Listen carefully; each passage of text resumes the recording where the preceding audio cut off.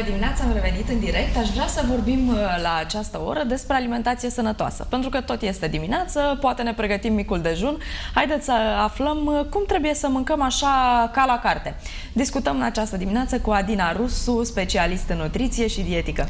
Bună dimineața! Bună dimineața, bine ați venit la noi! Bine v-am găsit! Să începem chiar așa cu începutul. E dimineață, cam cum ar trebui să arate micul dejun uh, sănătos?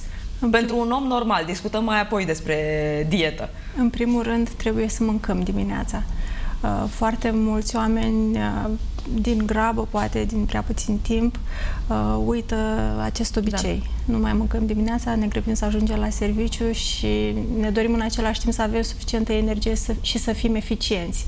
Ei bine, nu avem cum, neavând resurse pentru toate acțiunile pe care vrem să le întreprindem. Uh, micul dejun trebuie să fie echilibrat nutrițional, adică să conțină toate grupele de macronutrienți, proteină, carbohidrați și grăsimi sănătoase. Nu este în regulă dacă mâncăm, eu știu, un desert la micul dejun, că se, mhm. se obișnuiește, mâncăm rapid un corn cu ciocolată și considerăm da. că a rezolvat problema. Acea variantă cu cereale integrale, pentru cei cărora le plac cerealele integrale, desigur cu lapte sau cu iaurt ar constitui o variantă foarte echilibrată nutrițional și care ar asigura sațietate pentru o perioadă destul de lungă de timp. Uh-huh. De asemenea, pentru cei care preferă brânzeturile, um, este foarte important ca pe lângă brânzeturi, de exemplu, să folosim o felie de pâine integrală, um, biscuiții integrale, iarăși sunt o soluție pentru dimineața. Găsim uh-huh un ofiert, o omletă preparată fără Și ulei. dacă se întâmplă ca micul dejun să luăm la birou? Ideal e să mâncăm... Se restrânge paleta de, de exact. alimente. Ideal e să ne găsim 5-10 minute să mâncăm acasă. Nu e foarte greu. Uh, la birou putem avea gustarea de după 2-3 ore de la micul dejun. Uh-huh dacă ne propunem reușim să ne găsim acele minute acasă ca să mâncăm în liniște, fără grabă și să fim siguri că avem micul dejun. La birou pot apărea tot felul de treburi care ne pot împiedica să mâncăm. Da. Cam câte mese ar trebui să avem pe zi? Uh, ideal e să avem trei, cele trei mese principale și două sau trei gustări. Uh, a treia gustare e în special pentru cei care uh, stau seara până târziu, și mai poate apărea cu siguranță senzația de foame. Nu întotdeauna, dar se poate întâmpla să mai apară, în funcție de cât de consistentă a fost cina. Uh, o gustare constă în ce alimente? Dacă... Nu este, presupun, o masă mai mică. Nu, nu, nu. Dacă vorbim de, gustarea, de o gustare ușoară după cină, poate să fie o cană de lapte, o cană de iaurt sau o porție de nuci semințe alune. Aici vorbim de o mână de nuci semințe alune, până în 30 de grame. Deci foarte puțin ar trebui să fie. Da. Uh, românii sunt în topul celor mai mari consumatori de pâine. Cât de sănătoasă este pâinea? Uh, pâinea și cerealele în general ar trebui să constituie baza alimentației noastre, dar nu dacă mâncăm jumătate de pâine sau pâine la o masă, cu siguranță. Uh, pâinea este un aliment foarte sănătos dacă este consumat în moderație, adică o felie, două de pâine la o masă și la o felie, mă refer la 30 de grame, 28-30 de grame, nu acele felii de 100 de grame. Este foarte mult mai corect. Ideal este să mâncăm pâine integrală, în graham uh-huh. de secară, o pâine care să ne aducă un aport mai consistent de fibre. Uh, pâinea, cerealele conțin minerale de care avem nevoie și reprezintă o sursă energetică importantă din alimentația umană. Uh, acesta este și motivul pentru care nici, nici atunci când trebuie să scădem în greutate, nu este recomandat să scoatem pâinea de tot. Chiar nu are rost. Trebuie să corectăm doar porțiile și să ne reglăm mesele pe parcursul întregii zile. La ce trebuie să fim atenți când alegem o pâine? În primul rând, trebuie să, ne, să fim atenți la proveniența pâinii, la modul în care este ambalată asta în primul rând. Să evităm pâinea albă. Pâinea albă uh-huh. este mhm. corelată cu excesul ponderal. Pâinea integrală nu. Uh, cam acestea ar fi punctele de pornire. În primul rând, să vedem proveniența, să alegem pâine ambalată, nu acea pâine care este vândută fără pungă, fără ambalaj. Am mai văzut și pâini ce aveau ca termen de valabilitate o perioadă foarte îndelungată. În mod normal, cam cât rezistă o, o pâine? Depinde de, deci dacă producătorul a folosit conservanți care să-i asigure un termen de valabilitate mai mare, atunci clar, pâinea respectivă este valabilă mai mult timp. Pâinea pe și care nu o este facem... mai indicată, nu?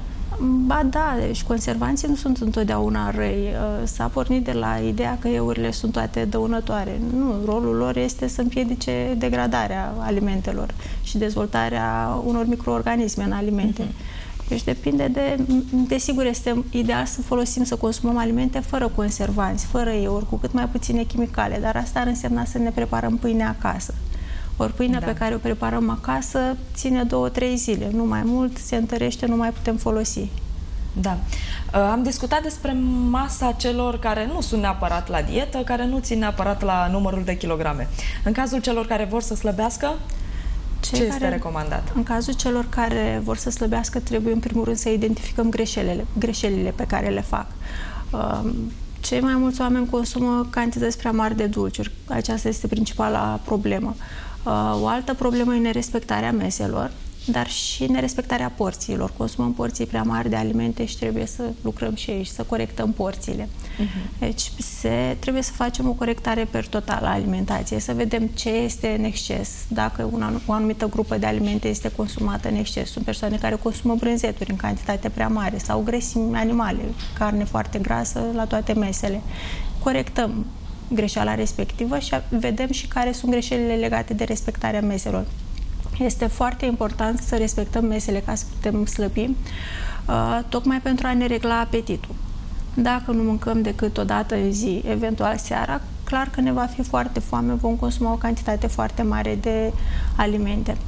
Nu avem cum să ne reglăm în astfel apetitul. Mâncând de dimineață, putem avea senzația că ne este foame toată ziua. E bine, nu este așa. Organismul nostru consumă altfel nutrienții și reușim să scădem în greutate mâncând la 2-3 ore. Fie că e vorba de o masă principală sau de o gustare. Da, și presupun că porțiile trebuie să fie mici. Porțiile trebuie să fie mult mai mici comparativ cu ceea ce se mănâncă astăzi. Uh, o porție de carne, de exemplu, n-ar trebui să depășească 100-150 de grame, maxim 200. Uh, asta înseamnă cât o palmă. Uh-huh. Și mhm. vorbim despre carne slabă. Carne slabă, preparată corect, fără foarte multe grăsimi, evităm șnițelele și alte feluri de mâncare ce implică foarte mult ulei. De asemenea, la mâncarea gătită trebuie să avem grijă să nu fie o mâncare foarte grasă și acolo diferă porțiile uh, în funcție de legumele pe care le folosim. Să evităm să folosim la toate mesele cartoful, de exemplu, sau orezul sau pastele, mai reducem puțin aportul de carbohidrați. Da. Uh, efectiv, la fiecare persoană trebuie identificate greșelile făcute Dacă în suntem uh, la regim, mai putem mânca paste, cartofi, orez? Ocazional și nu trebuie mâncate în fiecare zi. Se pot mânca toate alimentele la regim, dar respectăm porțiile. Pentru cartof, de exemplu, porția ar fi de un cartof mediu, un cartof, deci nu jumătate da, da, da. de kilogram sau mai știu ce, cantități foarte mari. Și atunci de preferat copt sau fiert, nu? De preferat copt, fiert, la cuptor, depinde de... Nu prăjit nu prăjit. Uh, cartoful prăjit poate avea de trei ori mai multe calorii comparativ cu cartoful fiert. Mhm. Plus um, uh, uleiurile nesănătoase. Deci încercăm să scădem în greutate, dar într-un mod sănătos. Nu e suficient da, da, da. să doar să ne înfometăm. Înfometarea ajută doar pe termen scurt la scăderea în greutate, după care apare acea plafonare. Uh-huh. Nu mai reușim să scădem, indiferent cât de puțin mâncăm. Și presupun că se depune și mai mult. Exact. Um, pentru că la un moment dat cedăm. După o perioadă în care restricționăm foarte mult alimentația, cedăm și mâncăm mult mai mult decât ar trebui și punem înapoi. Pentru că apare acea frustrare. Întâi scădem în greutate, suntem motivați, după care apare plafonarea și frustrarea, că deși nu mai mâncăm, nu reușim să scădem în greutate și atunci recădem. Uh-huh. Uh, tocmai de aceea este important să scădem treptat aportul de calorii foarte ușor, cu 300-400 de calorii, mai puțin decât ar avea nevoie organismul nostru. În felul ăsta nu simțim nicio înfometare foarte mare. Ne este ușor, dacă mâncăm 3 mese, două gustări, nu apare acea senzație de foame foarte puternică, putem să mâncăm din toate grupele de alimente, dar câte puțin. Și, și să avem grijă cum le asociem? Mai mult sau mai puțin. Uh, povestea cu asociatul alimentelor conține și foarte multe mituri care nu au fundament științific. Desigur, nu vom mânca orez sau cartofi cu paste, mâncăm amidon, cu pâine, pardon, mâncăm amidon cu amidon. Chiar nu ar avea rost. Dar legat de carne cu legume, putem fără probleme să mâncăm, dar contează foarte mult porțiile. Da. Dacă respectăm porțiile, chiar nu mai este nicio problemă. Desigur, nu este indicat să mâncăm imediat după masă fructul, pentru că ar putea fermenta. Fructul ar trebui să fie lăsat pentru gustare, la 2-3 ore după masă. Uh-huh.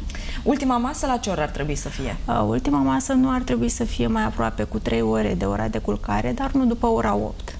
Depinde și de programul fiecăruia, pentru că dacă vom termina programul la serviciu la 7, 7 jumătate, chiar 8, trebuie să avem măcar o masă ușoară când ajungem Dar acasă. chiar dacă ne culcăm la ora 2 noaptea, asta nu înseamnă că la 12 putem mânca. Nu, exact. Ok. Nici să nu fie foarte târziu. Putem să mai avem o gustare, nu trebuie să stăm să ne chinuim de foame. O gustare Da, da. ușoară. Este o modă a pă, dietelor, a regimului. Ce părere aveți despre asta? Cât sunt ele de indicate? Dietele nu sunt indicate pentru că, la fel ca și înfometarea, dau rezultate pe termen scurt. Dau rezultate pe termen scurt și determină modificări ale organismului. În primul rând, metabolismul devine mai lent. Și sunt foarte multe persoane care au încercat toate dietele și la un moment dat nu mai merge nimic. Um, Scăzând în greutate, pierdem și masă musculară și masă slabă și masă grasă. Când punem înapoi, de cele mai, mul- mai multe ori punem doar masă grasă. Treptat, procentul de grăsime din organism devine tot mai mare cu fiecare dietă pe care o ținem.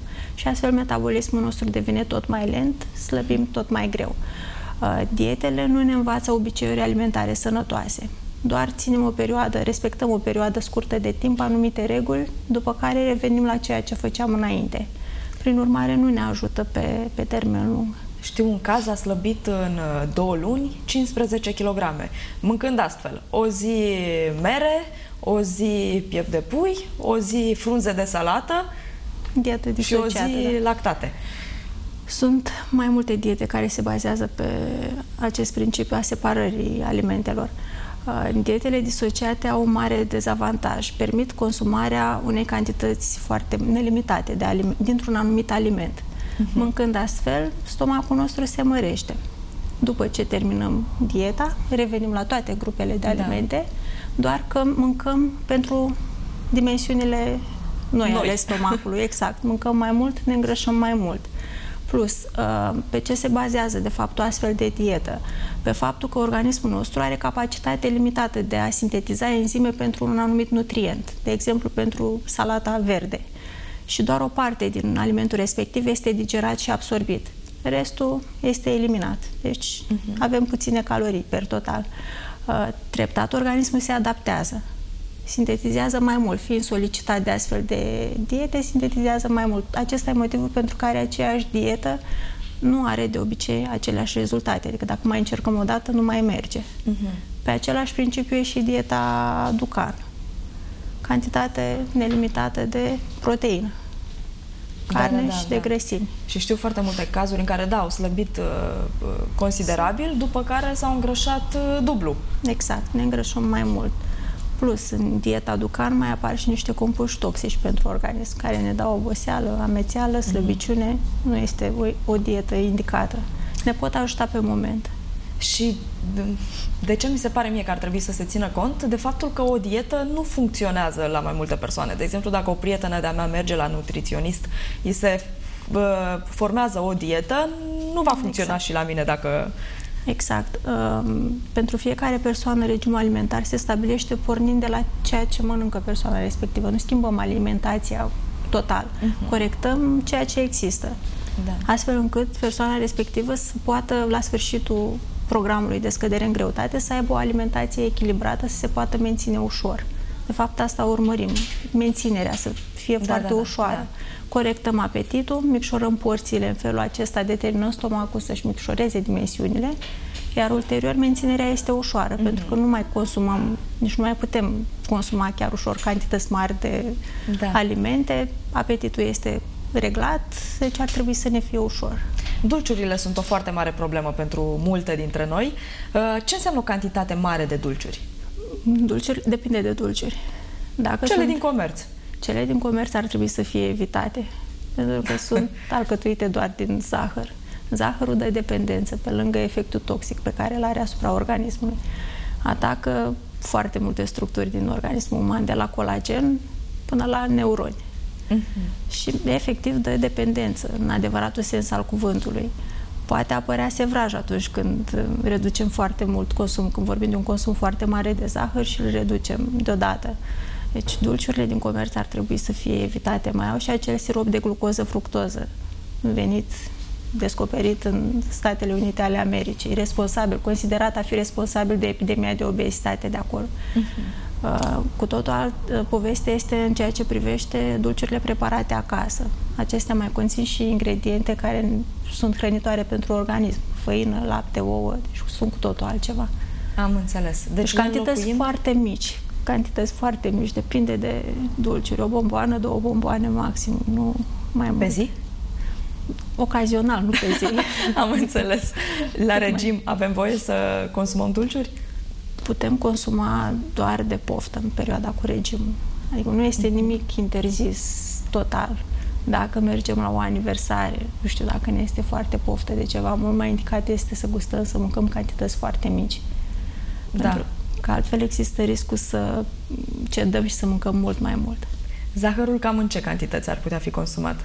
Zahărul ar trebui să fie per total câteva lingurițe pe zi. Uh-huh. Ori dacă ne gândim la faptul că o doză de suc poate avea 35 de grame de zahăr, asta înseamnă vreo șapte lingurițe. Deci Deja ne nu terminăm, șapte lingurițe. Nu, nu, mai puțin. Două, trei. Exact, două, trei maxim. Asta dacă punem și zahărul din cafea cu tot. Da. Trebuie să avem în vedere faptul că găsim zahăr în foarte multe alimente, inclusiv în ketchup găsim zahăr. Uh-huh. Uh, tocmai de aceea trebuie să reducem foarte mult zahărul pe care îl adăugăm noi alimentelor. Da. Uh, au apărut acum tot felul de dulciuri care sunt destinate celor uh, care țin dietă și nu, ei spun că nu au zahăr. Acum uh, nu știu.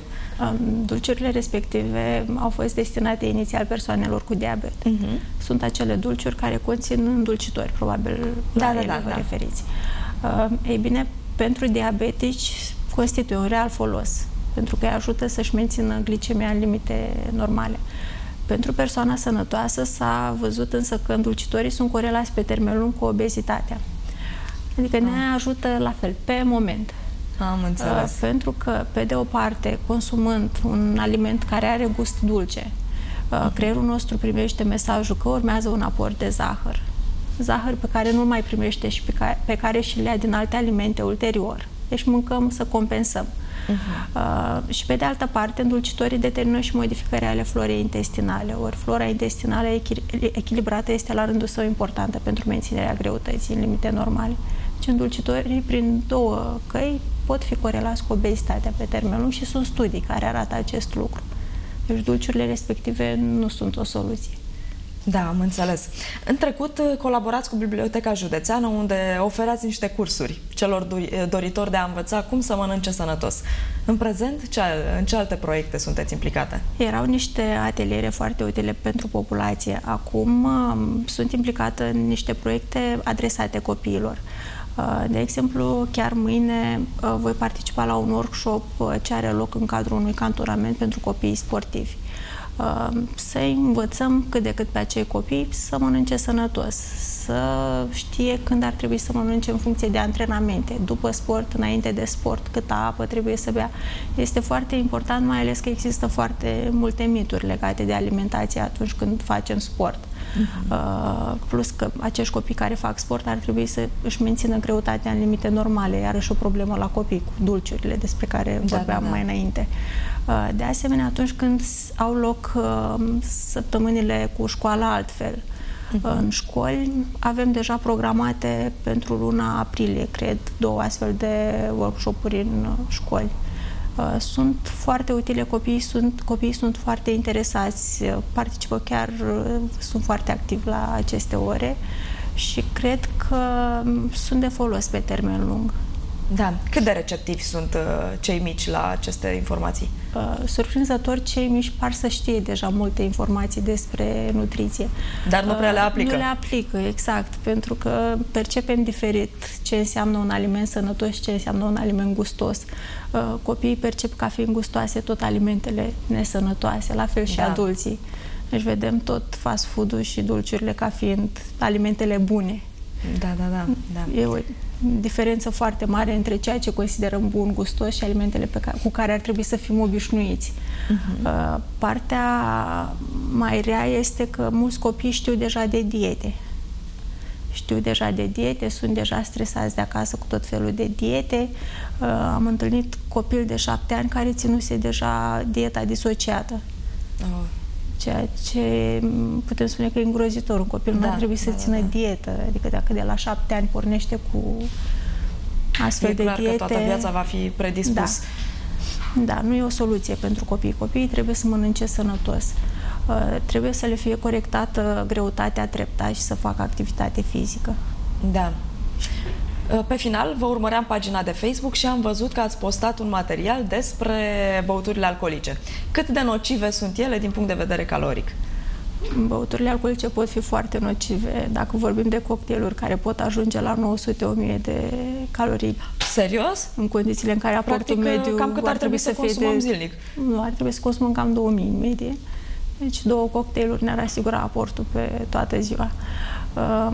De asemenea, alcoolul are și un efect toxic asupra organismului, mai ales pentru cei care vor să scadă în greutate. Alcoolul poate aduce și calorii multe. După da. consumul de alcool uh, facem de obicei hipoglicemie, ceea ce ne aduce senzația de foame.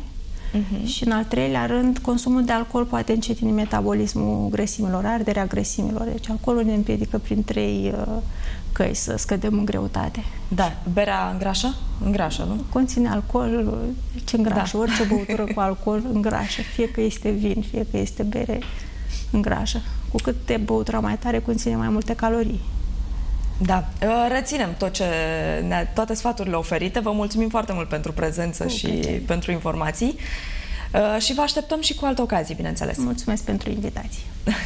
Pe dumneavoastră vă invit să urmărim o știre realizată de, de colegii noștri despre economia din zona Moldovei, care nu este deloc uh, senzațională. Haideți să urmărim.